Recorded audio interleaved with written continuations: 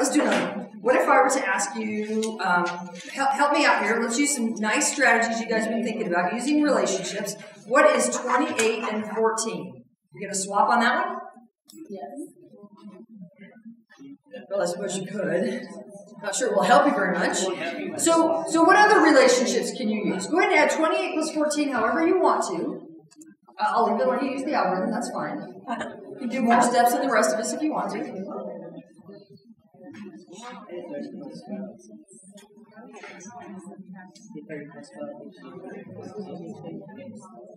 Okay, what did you get?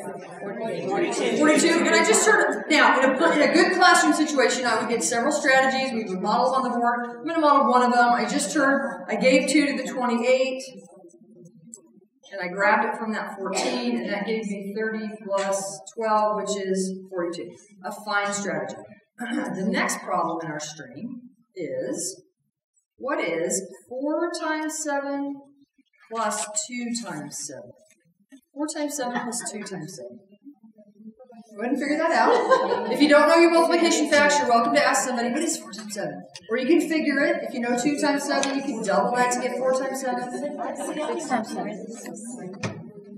So that becomes what? 42. It becomes, what is 4 times 7? 28. 28 plus 14. And what is that? 42. 42. Weird. Okay, the next problem is 49. Now do me a favor. Do me a favor. Do me a favor. Don't say anything out loud. Let everybody else see what they're about to see. What is 49 plus 28? Don't say it out loud. 49 plus 28. Solve it any way you want. Please use relationships. You are talking out loud. Stop that. I hear you. I don't know who you are, but you're over there. So let your partners. I know some of us. I'm, I, I'm actually included. I think better when I talk out loud, but for right now, talk in your mind.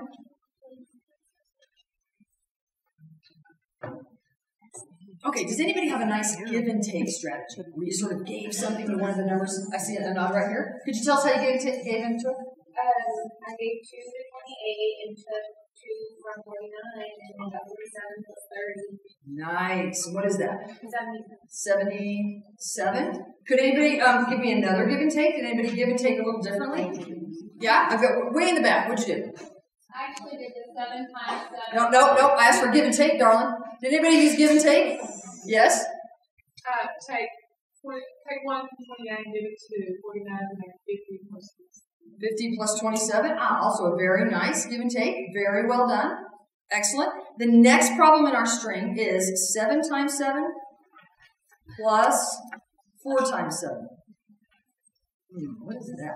7 sevens plus 4 sevens. How many sevens is that, by the way? I'm sorry, 7 sevens plus 4 sevens is how many sevens? 11 sevens. Hey, do you know what 11 times 7 is? Is that 77? Weird. Oh, say that again. Hang on. All right. So we had 7 times 7. We had 7 sevens plus 4 sevens. And I asked if I have 7 sevens and 4 sevens, how many sevens do I have? 11 sevens. Hey, we have to know 11 times 7. That's a nice one. Yeah. Sweet. That's kind of cool.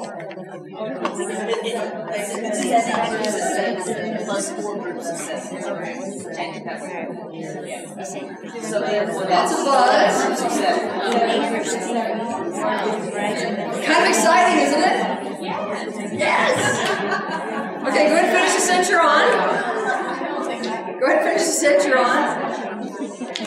All right, everybody. What is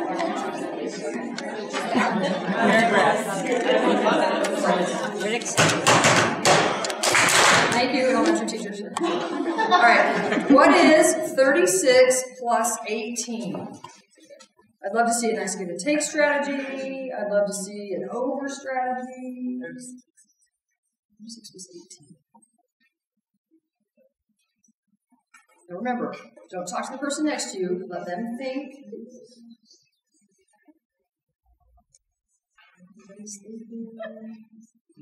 36 plus 18.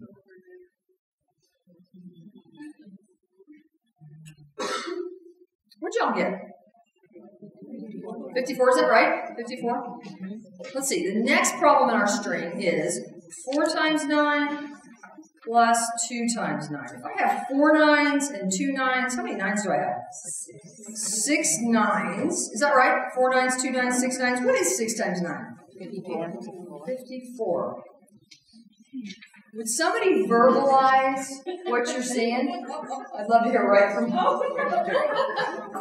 These guys are like geeked over here. They're like, oh my gosh! Because it's just amazing to me because, I mean, I know my multiplication facts from rote memory, but you put up the first 7 times 7 plus 4 times 7, and it's intimidating because you're just like, okay, 49 plus 28, and then. Which we had just done. Right. I see, that's why, and it worked again. I don't know, it's just neat. Excellent, excellent. All right, so it's neat. Anybody want to say more about what's neat about it? the addends into factors. Can you say no more for just a second? I want to repeat what Raquel just said. She said you're breaking up the addends into factors. Somebody besides Raquel, tell me where I've done that. Where did I break up addends into factors? Yes, On ma'am. that- On that last one, I broke it up into sixes. I did, I broke it Oh, up six. guess what the next problem in the string is? And unfortunately, I'm out of room on this dumb screen, so I'm going to actually put it. Um, um, I hate to erase this one, but I'm going to put it right here. The next problem in the string is six times six plus three times six. That's what I did. How does that relate to what's right underneath it? Six times six and six thirty-six, and three times six and eighteen. So I've got six sixes and three sixes. How many sixes do I have? Nine sixes. Check that out. There's nine sixes, and on the bottom I've got six nines. What is nine times six? Fifty-four. Okay, so again, I need one more person to verbalize because not everybody's seeing the same pattern. There's lots of patterning going on. There's lots of nice things happening. Could I use this pattern to solve 28 plus 14 before I did anything else? Before I started adding, could I use that pattern to think about 28 and 14? Or if I were to give you another problem, like, what is 54 and 48? Now I want to ask, do any factors pop? Do you see any factors pop? Now don't don't tell the person next to you. Let them think. Please allow the person next to you think.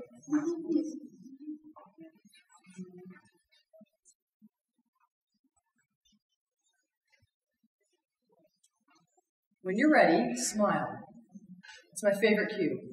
You a smile from everyone in the room. Hi, Artelia. Okay, I'm not getting very many smiles. There's one, good, excellent. There's one, little grin, that was not very smile. There we go. They're working. You don't like that one? Yeah, it's it's it's, it's kind of not doing what you were hoping, huh? Let's run with what you get. What did you What did you say? You said something like, "Hey, there's nine sixes there, and there's eight sixes there. Oh, cool, cool. We did our thing. All right, so that's nine sixes and eight sixes. Is that's nasty?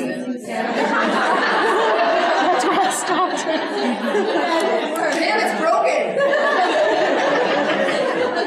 Icky. Oh, or thought. Right, so, and have ten sixes and oh, sixteen, and seven sixes is forty-two, and you have. So can I keep using the same sort of idea but kind of undo? Now I'm going the other way. I've got the 17 sixes. I don't want to deal with that, but hey, 10 sixes and 7 sixes. Sweet! That's not too bad.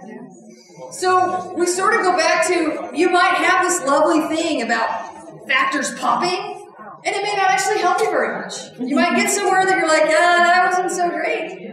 What else could you have done up here? Like a lot of you were sort of forcing it. You were going to make this problem fit that pattern. You were going to make those factors pop if it killed you. Could you just a little give and take and turn that into 52 plus 50?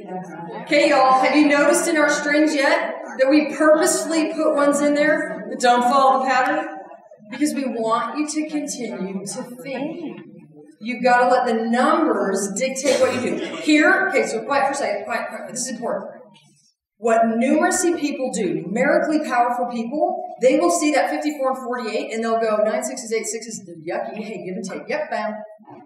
They will consider several different strategies, several different relationships they've got, and they'll choose the slickest one. So if you choose one and, it, and you're like, ooh, this is yucky, oh, I'm not good at numeracy. No, no, no, no. You're exactly good at numeracy. Just choose another one. Just keep looking for relationships until you find one that is the slickest you can find. That's what people that are numerically powerful do. When I learned that, when I interviewed enough people and I was like, that's what you do? Well, sweet, that's what I do. I can do that. I may do it slower than you, but I can choose from relationships and find the slickest one to add a problem. So let's see if we can make it work with one more. What if I were to ask you 45 and 36? 45 plus 36. Let's see if this time some factors popping will make us happy. 45 and 36.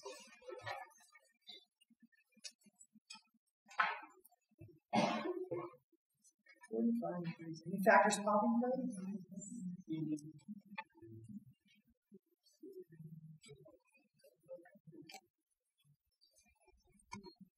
Ooh, I just a big smile.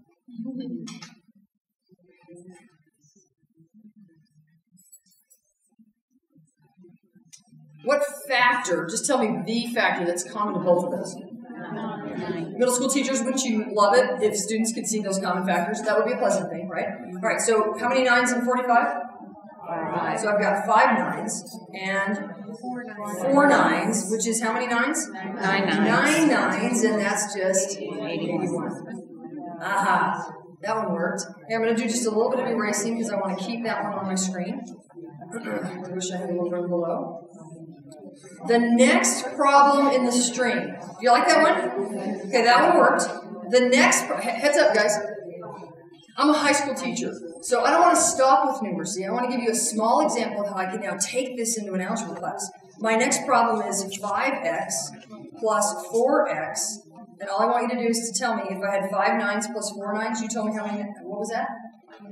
Four, not five nines down here at the bottom. Five nines plus four nines. You said was nine nines. Nine nines. So what's five x plus four x? Nine x. And I just taught you a very important concept in algebra based on what you know about numbers. It's not 9x squared, right? It's, it's if I have five of those things and four of those things, how many of those things do I have? I got nine of those things. And you would be far more clear about all those symbols in algebra if I pulled them from what you know about number. And that's what I do when I talk to high school teachers. In a huge way, I talk about numeracy leading into the algebra that we want to, to learn in high school. I know, I wish I was your teacher in high school. I wish I was my teacher when I was. In college. Yeah, anywhere, right? All right, you guys have been fabulous. We just did that string. I just want to. Oh, yeah, that's right. I have some blank screens in case. I just want to tell you one more way. Math is Figureoutable, but we can use relationships to figure. You guys have been fantastic. Have a great rest of the day. We'll see you tomorrow morning.